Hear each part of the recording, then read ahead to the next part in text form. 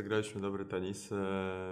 Ogólnie czułem się dobrze na korcie. Jest to najlepsza impreza, można powiedzieć, singlowa i deblowa w, na świecie, więc fajnie gra się dobrze w takiej imprezie. I, I dzisiaj mamy najcięższy mecz z całego tygodnia, bo przeciwnicy są w super formie, ale, ale uważam, że jeżeli dobrze zagramy, to mamy szansę i może być dobrze. Zobaczymy.